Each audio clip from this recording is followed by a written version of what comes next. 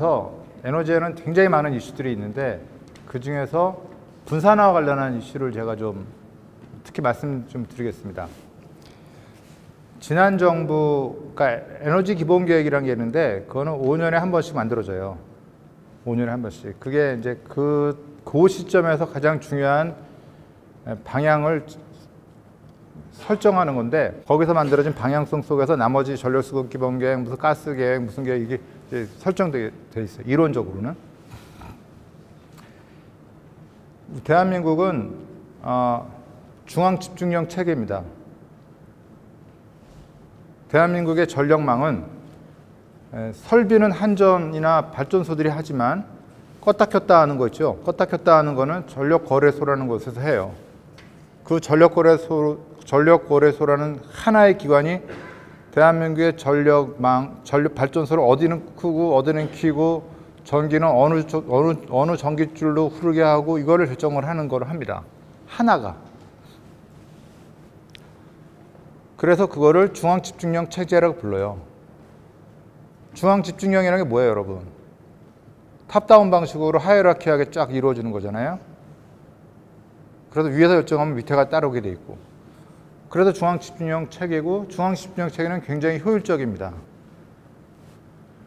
그러다가 이게 중앙 집중형 체계가 이러이러한 이러이러한 한계에 왔다라고 진단을 하고 오, 에, 지난 정부 초기에 2차 에너지 기본 계획이라는 데서 분산화 원칙을 합의 도출을 합니다. 전문가들하고 정부, 시민사회계 뭐 이렇게 해가지고 결국 잘 안 돼요. 한 몇십 년 전에 아까 말씀드린 것처럼 공급 일변도에서 수요 관리 병행으로 해야겠다라고 하면서 이제 에너지 관리공단이라는 게 만들어졌다 그랬잖아요. 그때는 이제 이걸 어떻게 대동화 시킬 것이냐였는데 결국 대동화가 잘 안 되죠. 항상 공급 중심, 공급 자원이 항상 우, 위에 서는 형태로 온 겁니다. 최근에 최근에 수요 관리가 이제 제 체감으로는 드디어 이제 공급보다는 수요 관리가 중요하다라고 이제 되는 것 같아요. 그래서 또 많은 변화가 이루어지고 있는 상태인데 뿐만 아니라 분산화 역시 지난 정부에서 분산화 정책이 기후과 에너지 기본 계획의 주요 방, 원칙으로 정해졌지만 실제로 작동을 안 했는데 최근에 들어서 보면은 분산화가 굉장히 강도 있게 진행이 됩니다. 분산화 문제가. 그래서 아 이게 실제로 이제 세상이 변하긴 변하고 있긴 하구나. 이게 한꺼번에 변하는 겁니다, 여러분. 그거는 중앙 집중력 체계를 유지하기 위해서는 끊임없이 수요가 늘어나면서 그거를 처리를 해야 되는데 이제 중앙 집중력 체계를 유지할 수 있는 힘도 수요 증대가 없어, 없고 또 시스템의 불안 이런 문제도 있고 또 기술의 흐름이 그런 걸로 돈 못 벌어 전 세계가 이미 그렇게 바뀌고 있어 신재생으로 바뀌고 있고 에너지 절약 바뀌고 있기 때문에 이제 원자력 더 짓고 석탄 더 짓는 건 안 돼. 전 세계가 그렇고 특히 석탄 같은 경우에는 이제 아예 뱅커들이 돈을 못 줘요. 돈을 주고 우리나라 뱅커가 돈을 주면요 이제 국제 금융계로부터 이제 버림을 받아요. 제재를 받아요. 이제 그런 식으로 세상이 실제로 변한 거예요. 그러니까 수요 관리 중심 또 어, 분산화 이런 부분들이 굉장히 이제 현실적으로 중요해진 현실적으로 우위에 서, 서 있는 방향으로 바뀌고 있는 겁니다. 정책과 뱅커들이 그걸 바꾸고 있는 거예요. 또 기술의 흐름. 그러니까 이런 분산화 뭐 이런 부분을 해야지 앞으로 돈을 벌 수 있기 때문에 그쪽으로 R&D를 하게 되는 거예요. 정책이 그렇고 돈의 흐름이 그렇고 기술의 흐름이 그러다 보니까 그러다 보니까 아 제가 속해 있는 에너지 공단이 주요 기관으로 이제 급부상을 하게 되는 그 분산 자원이나 수요 관리나 이런 걸 다루는 기관이다 보니까 이게 위상이 급부상을 하는 형태로 바뀌고 있는 거죠. 그래서 분산 에너지라는 것은 시대적 흐름으로 정의로운 뿐만 아니라 수익성 측면에서 이제 바뀌고 있는 측면입니다. 이게 이제 여러 가지 뭐 전력 시장도 그렇고 수송 분야 그렇고 가스 분야, 냉난방 분야의 여러 연료 전지 뭐 여러 가지 이런 부분들이 대부분 다 local에서 local 단위로 투자되고 local 단위에서 운영되고 로컬 단위에서 자기네끼리 거래되고 이런 식으로 이제 세상이 바뀌고 있는 거예요. 그러면 이게 좋은 거냐? 여러분 말씀드렸잖아요. 효율성 측면에서 보면요. 중앙 집중형 책이 좋은 거예요. 분산화로 가게 되면은 실제로는 비용이 좀 더 늘고 밀양 사태와 같은 고강도 갈등이 조그만 동, 여러 동네의 저강도 갈등으로 확산되고 운영도 훨씬 더 복잡해지고 결정하는 사람이 한 명인 거하고 결정하는 사람이 여러 명인 거하고 다르잖아요. 그죠? 그래서 분산으로 가는 것이 참 좋은 거다 이런 의미는 아닙니다, 여러분. 분산으로 가면은 분산으로 가는 거에 따른 많은 복잡한 문제가 생겨요. 장점만 있는 건 아니에요, 여러분. 그래서 이 분산으로 가는 부분에서 체질을 바꾸는 게 쉬운 게 아니듯이 갈 때 잘, 잘 변화를 해야 됩니다. 특히 시장이 작동하는, 시장이라는 것이 작동해가지고 그냥 새로운 사업자가 나타나가지고 혁신적인 사업자가 하면 돈벌 수 있는 그런 자유로운 공간이 존재하지 않는 정책이 주도하는 이런 공간에서는 누군가 의도적으로, 인위적으로 조정해야 되잖아요. 이 부분은 굉장히 어려운 얘기입니다. 그래서 저희 지금 에너지공단이 그런 일을 지금 하고 있는데 벅차죠, 저희도. 왜냐하면 기존의 사업자는 바뀌는 걸 싫어하고 바뀌면 수익이 떨어지니까. 그래서 최근에 많이 나오는 게 이제 VPP라고 버추얼 파워 플랜트라고 누군가가 이러한 기능들을 해서 돈을 벌 수 있게 해주자. 가상발전소란 무엇일까요?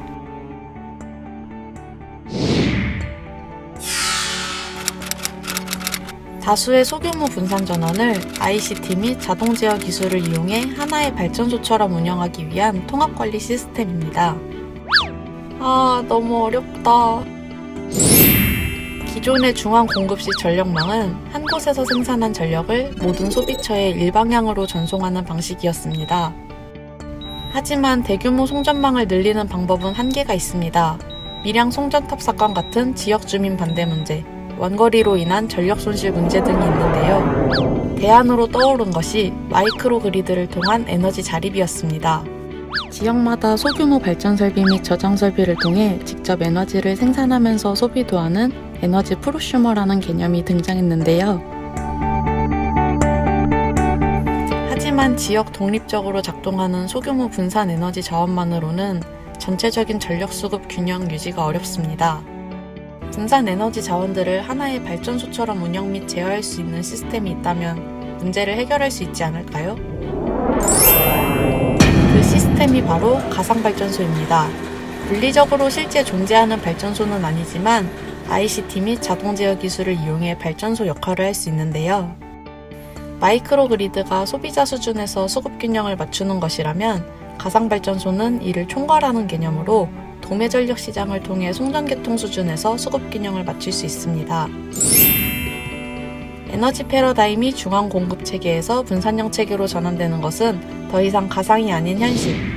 가상 발전소가 만들어갈 새로운 에너지 시장이 기대됩니다.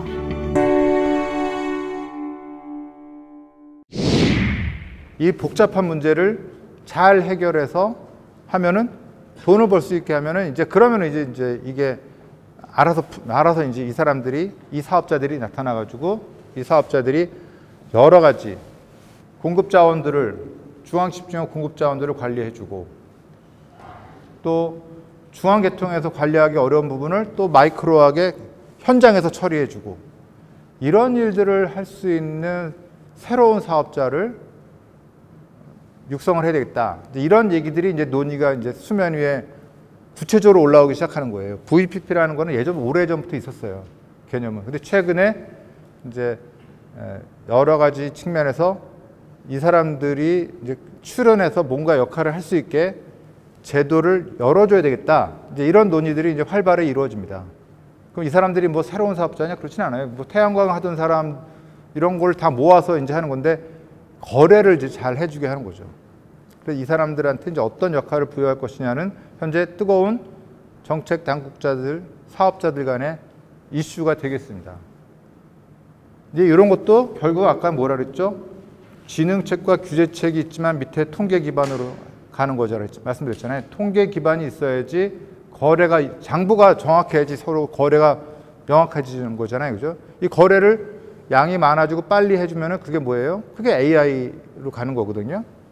그래서 이 부분이 이제 AI 시대, 4차 산업혁명 시대, 아, 시류에 맞는, 흐름에 맞는 형태가 되고 또 혁신성이 담보되는 부분이 있을 거라는 기대도 같이 있는 거예요. 그러니까 이- 이렇게 해서 분산화가 갖고 있는 여러 가지 문제, 복잡한 문제들을 푸- 풀면서 또 기술의 흐름, 혁신적인 기술의 흐름, 특히 AI 기반의 어떤 거래 방식을 적극적으로 수용을 하면서 가면 예, 문제를 풀 뿐만 아니라 이걸 빨리 작동시키면 우리가 예, 솔루션을 만들 수 있고 그 솔루션은 어차피 전 세계적으로 동일하니까 그 솔루션을 가지고 해외 글로벌 비즈니스 할 수 있지 않을까라는 기대를 갖는 예, 새로운 예, 오래된 용어지만 굉장히 새로운 이제 예, 개념이 되는 거죠. 이걸 가지고 이제 여러 발전사, 에너지공단, 뭐 한국 전력거래소 이런 등등이 정부 산업부 등등이 지금 예, 깊이 있게 고민 중입니다. 그럼 결론 결론 말씀드리자면 이렇게 이제 에너지 전환 일을 해야 되는데 60년 동안 있었던 그런 시대를 막, 마감하고 이제 새로운 시대로 넘어가야 될 필요가 있는 겁니다. 예전에는 하던 걸 그대로 하면 되는 시절이었어요. 쉽게 말하자면 40년 전, 30년 전에는 사, 사, 50년 전, 40년 전 거를 되풀이하면 되는 시대인데 지금은 여러분 시대가 많이 바뀌었잖아요. 여러 가지 면에서 바뀌어야 되는 상태에서 이제 어디로 바, 바꿀 것이냐를 고민을 해야 되는 상태인데 그거를 잘 보면 결국은 이해관계자들끼리 비용을 내거나 기술을 내거나 뭐 할 수 있는 이런 부분 이해관계자들이 지지해주고 서로 양해해주는 이런 게 필요 현실적으로 본, 본 필요한 거- 필요한 겁니다. 그럼 정부, 발전사, 판매사, 가정주부, 공장자 이런 분들이 아 이제 세, 이렇게 가야 되니까 바꿉시다. 이렇게 이제 어느 정도의 공감이 있어야 되는 거예요. 그렇지 않으면 이제 갈등으로 가는 겁니다. 물론 이것보다 이런 하- 합의보다 합의만 해주고- 해주고는 안 되죠. 그걸 할 수 있는 기술력이 담보되지 않으면 기술력이 없으면 합의해봤자 소용 없잖아요.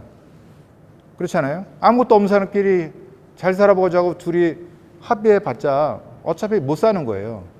근데 뭔가 기술이 있는 사람들끼리 합의를 해야지. 나는 나는 수프가 있고 너는 면이 있고 너는 물이 있으니까 합의해서 라면 끓여 먹자 이러면 되는데 그거 아무것도 없는 사람끼리 합의할 소용이 없는 거죠. 그러나 기술은 어차피 시장을 통해서 확보할 수 있는 부분이 있기 때문에 결국은 비용을 지불하는 사람들 땀과 눈물과 피 이 얘기는 하지만 처칠처럼 이런 부분에 대한 실질적인 합의가 있어야지 이 부분이 smooth하게 넘어갈 수 있고 그러기 위해서는 결국은 계속 토론을 하면서 일방적인 지시로는 안 되고요. 토론을 하면서 이 문제를 극복을 해야 되는 거구나. 이게 이게 우선이구나. 그리고 기술력이 있어야 되는 거고요. 그리고 이거를 운영할 수 있는 실력이 있는 뭔가가 있어야 되고.